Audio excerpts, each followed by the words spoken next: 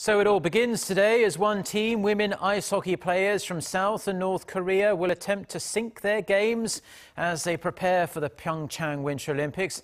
The unified team only has one practice match, that is against Sweden on February 4th, to play together before the real deal begins.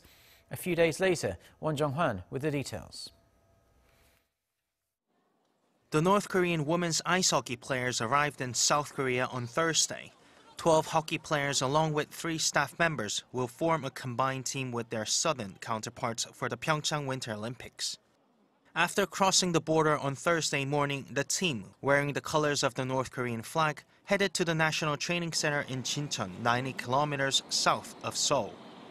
The coach of the North Korean team expressed his feelings toward forming the only combined South-North team at the Pyeongchang Olympics. I am very pleased to participate at the Olympics as the only unified team formed between North and South. If we work together with unified strength in mind, I think we will achieve good results at the Games. The hockey team have their first training session next week under Sarah Murray, the head coach of the unified team, and will play Sweden in the friendly match five days before the start of the Olympics. Their first group stage match is against Switzerland on February 10th. Another 10 North Korean athletes, including a figure skating pair, and several speed skaters and skiers will also compete at Pyeongchang. But North Korea's participation has proved controversial among South Koreans.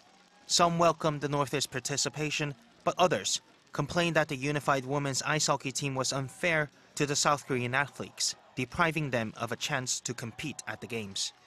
And there are concerns that the sudden addition of so many players so close to the competition could also disrupt team chemistry and impact on results.